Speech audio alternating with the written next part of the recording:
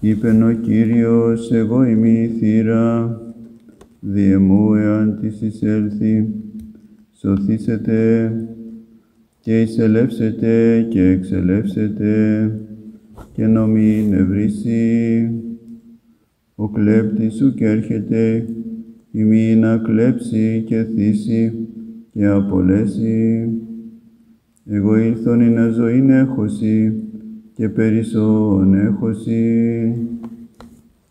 Εγώ είμαι ο ποιμήν ο καλός, ο ποιμήν ο καλός την ψυχήν αυτού τήθησιν υπέρ των προβάτων, ο μισθωτός δε και ουκόν ποιμήν, ου ούκηση τα πρόβατα ίδια, θεωρεί τον λύκον ερχόμενον και αφήσει τα πρόβατα και φεύγει, και ο λύκος αρπάζει αυτά και σκορπίζει τα πρόβατα. Ο δε μισθωτός φεύγει ότι μισθωτός εστί και ου μέλει αυτό περί των προβάτων.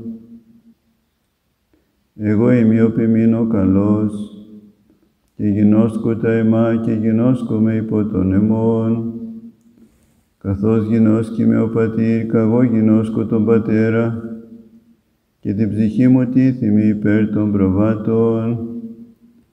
Και άλλα πρόβατα έχω αου και στην εκ της αυλής ταύτης, κακίνα με διαγαγήν και της φωνής μου ακούσουσι και γεννήσετε μία πίμνη εις ποιμή. Δόξα Συ, Κύριε, δόξα Συ. Όταν ο νους σου από τον μεγάλο πόθο προς τον Θεό είναι σαν να αποσύρεται σιγά σιγά από τη σάρκα και αποστρέφεται τις σκέψεις που προέρχονται από τις αισθήσεις ή από τη μνήμη ή από την κατάσταση του σώματος γεμίζοντας από ευλάβεια και χαρά τότε μπορείς να φρονείς ότι πλησίασες στα σύνορα της αληθινής προσευχής. Μας δίνει εδώ ο Άγιος Νίλος, ο ασκητής, το λόγο του περί προσευχής, που βρίσκεται στη Φιλοκαλία, έναν τρόπο ή κάποια δείγματα για να καταλάβουμε πώς πορευόμαστε στο θέμα της προσευχής. Όταν ο νους σου λέγει το πολλό προς τον Θεόν πόθο, κατά μικρόν ίον υπαναχωρεί της αρκός και πάντα τα εξαισθήσεως ή μνήμης ή κράσεως νοήματα αποστρέφεται, όταν λέει ο νους σου από τον πολύ πόθο προς τον Θεό σιγά σιγά κάπως αποσύρεται βαθμιδών από τη σάρκα και αποστρέφεται όλα τα νοήματα που προέρχονται από την αίσθηση ή τη μνήμη ή την ιδιοσυγκρασία, ευλαβίας ομού και χαράς έμπλεος γενόμενος, τότε νόμιζε η γικένε όλης προσευχής. Αφού γεμίσεις από ευλάβεια μαζί και χαρά, τότε θεώρησε ότι έχεις πλησιάσει τα όρια της προσευχής. Δείγμα δηλαδή ότι πλησιάζεις προς την σωστή, την αληθινή προσευχή είναι όταν ο νους σου από τον πολύ πόθο προς τον Θεό αποσύρεται βαθμιδών από τη σάρκα και αποστρέφεται όλα τα νοήματα, όλες τις έννοιες και τις σκέψεις που προέρχονται από την αίσθηση, από τις αισθήσεις ή από τη μνήμη ή από την ιδιοσυγκρασία. Και όταν βλέπεις ότι γεμίζεις από ευλάβεια και χαρά, τότε να γνωρίζεις ότι πλησιάζεις στα όρια της προσευχής. Πλησιάζεις προς την αληθινή προσευχή, η οποία είναι βέβαια αληθινή ενέργεια του Αγίου Πνεύματος και έχει μέσα της χαρά και ειρήνη και μακροθυμία και εγκράτεια και πίστη και αγάπη και όλο αυτό που συνιστά τον καρπό του Αγίου Πνεύματος. Γι' αυτό και λέγει στη συνέχεια ο Άγιος, το Άγιο Πνεύμα, επειδή συμπάσχει με την ασθένειά μας, επιφυτά σε μας, αν και είμαστε ακάθαρτοι, γιατί θέλει ο Πανάγιος Τηλετικός Θεός να είμαστε προσκολλημένοι σε Αυτόν δια της προσευχής και δια της ενώσεως της πλήρους με Αυτόν. Και έτσι το Πνεύμα του Άγιο, βλέποντας την ασθένειά μας, συμπάσχει με μας και έρχεται σε μας, αν και είμαστε ακάθαρτοι. Και αν βρει το νου να προσεύχεται ειλικρινά μόνο σε αυτό, κυριαρχεί σε Αυτόν. Εξαφανίζει όλη τη φάλαγγα των πονηρών λογισμών και σκέψεων που τον περικυκλώνουν και τον προτρέπει στον έρωτα της πνευματικής προσευχής. Το Πνεύμα του Άγιο δηλαδή μας παρακινεί στην πνευματική προσευχή και μας επισκέπτεται επειδή μας συμπαθεί και συμπάσχει. Το Άγιο Πνεύμα τη μετέρα συμπάσχουν ασθενεία και ακαθάρτης ούσιν ημίν επιφυτά και η έβρι των νουν μόνον φιλαλήθους αυτό προσευχόμενον επιβαίνει αυτό. Δηλαδή, επειδή συμπάσχει με τη δική μας ασθένεια, αν και είμαστε ακάθαρτοι, επιφυτά σε μας το Άγιο Πνεύμα.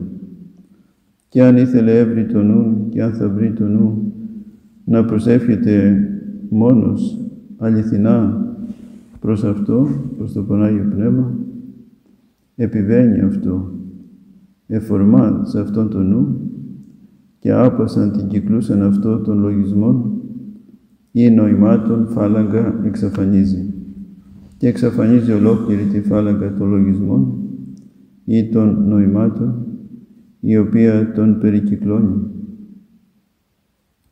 Προτρεπόμενον αυτόν εις έρωτα πνευματικής προσευχής, προτρέποντας αυτόν τον νου στον έρωτα της πνευματικής προσευχής.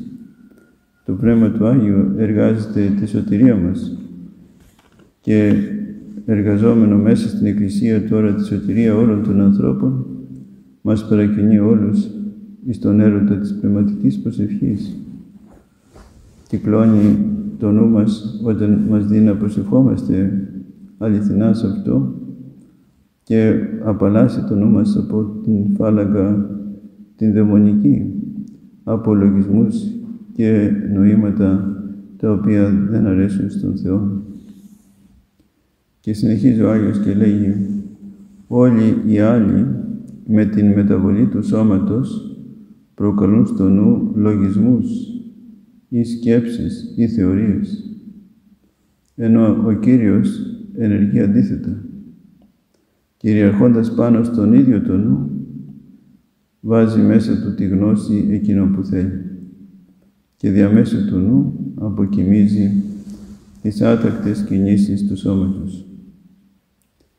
Η μεν λυπή δια της αλλοιώσεως του σώματος εμπιούσει τον νο λογισμούς ή νοήματα ή θεωρήματα. Η μεν υπόλοιπη λοιπόν λέγει με τη μεταβολή του σώματος προκαλούν στο νου λογισμούς ή νοήματα ή θεωρίες ουδέγε Κύριος του αντίοντρα. Αυτό το νο επιβαίνουν. Εντίθησιν αυτό γνώσιν ον βούλετε.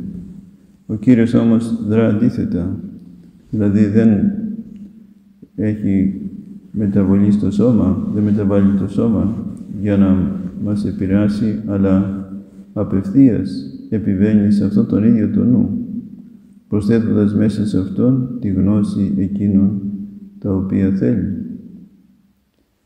και δια του νου την ακρασία του σώματος κατευνάζει και με το νου κατευνάζει την ακρασία του σώματος, την ορμή προς τα πάθη του.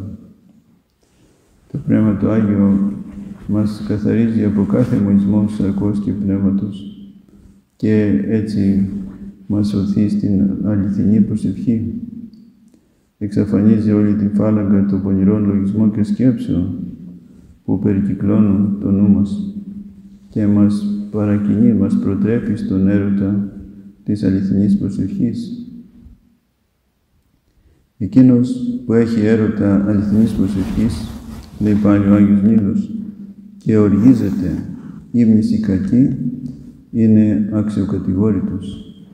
Είναι όμοιος με εκείνον που θέλει να βλέπει καθαρά και όμως ταράζει ο ίδιος τα μάτια του. Δεν μπορεί κανείς να δει καθαρά όταν δεν έχει ειρήνη στους οφθαλμούς του, αλλά τους περιφέρει εδώ και εκεί συνεχώς.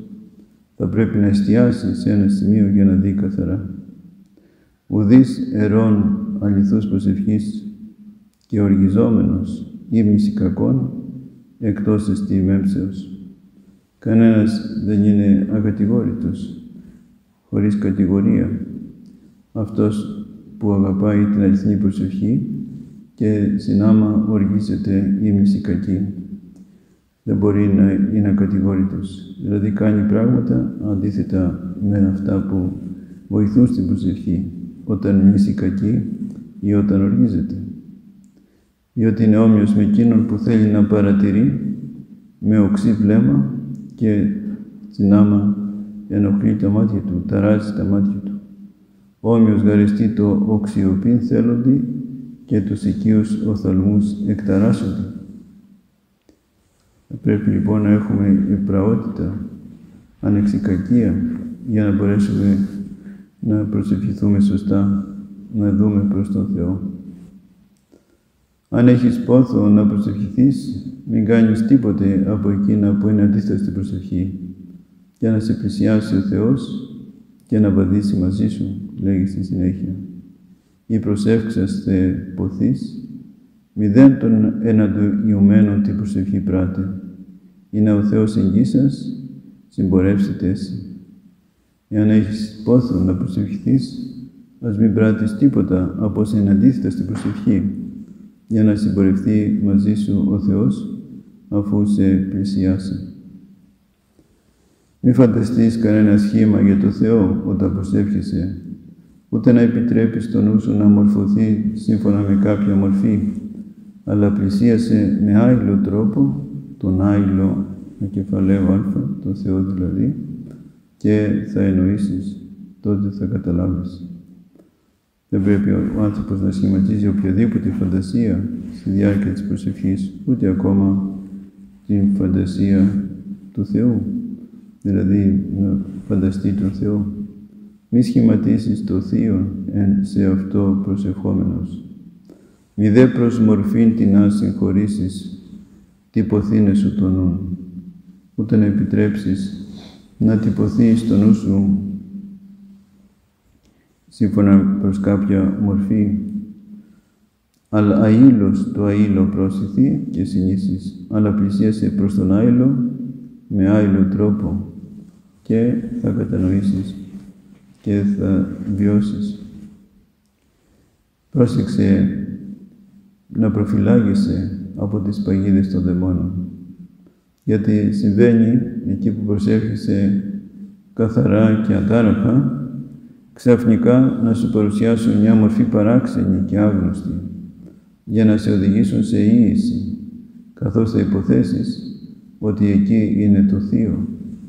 Θέλουν να σε πείσουν ότι η υλική μορφή που σου παρουσιάστηκε ξαφνικά είναι το Θείο, ενώ το Θείο είναι άειλο και χωρίς σχήμα. του τα σπαγίδα των εναντίον. Γίνεται γάρεν το προσεύχεστε σε καθαρός και αταράχος, ανθρώπος επιστήνεση, μορφήν την αξένη και αλόφιλον, προς το εις ίσιν σε απαλλαγήν, το πάζοντα το Θείον εκεί. Να προσέχεις πολύ, λέγει, τις παγίδες των εχθρών. Γιατί συμβαίνει στην κατάσταση της καθαράς και ατάρχης προσευχής, ευνηδίως να σου επιβληθεί στο νου και να σου παρουσιαστεί κάποια ασυνήθιστη και ξένη μορφή με σκοπό να σε οδηγήσει στην ίηση, υποθέτοντας ότι είναι εκεί ο Θεός. ή να το αθρός εκαλυφθένσει ποσόν, το θείον είναι πίστη. Για να σε πείσει ότι το μέγεθος το οποίο σου αποκαλύφθηκε ξαφνικά είναι ο Θεός. Άποσον δε το θείον και ασχημάτιστον. Αλλά ο Θεός είναι χωρίς μέγεθος και χωρίς σχήμα και έτσι δεν πρέπει να εξαπατηθείς. Όταν ο φθονερός δαίμονας δεν μπορέσει να ανακοινήσει τη μνήμη κατά την προσευχή, τότε αναγκάζει το ίδιο το σώμα να προκαλέσεις στο νου κάποια παράξενη φαντασία και με αυτή να δώσει μορφή στο νου. Και εκείνος που έχει συνήθεια να ζει με τις σκέψεις του, εύκολα λυγίζει. Και ένας πέφτει να λάβει γνώση άειλη και άμορφη, εξαπατάται και κατέχει καπνό αντί για φως. Όταν μη δυνηθεί τη μνήμη κινείσαι, όταν δεν μπορέσει ο φθονερός δαίμονας να υποκινήσει τη μνήμη εν την προσευχή, τότε την κράση του σώματος εκβιάζεται. Τότε εξαναγκάζει το ιδίωμα του σώματος να ενεργήσει και να σχηματίσει μέσα στο νου κάποια φαντασία ξένη και να δημιουργήσει μορφή σε αυτόν μια εικόνα στο νου. Την κράση του σώματος εκβιάζεται, ιστοποιήσει ξένη την αφαντασία εν το νου και μορφώσε αυτόν, ενώ ο νους πρέπει να είναι ασχημάτιστος, αδιαμόρφωτος.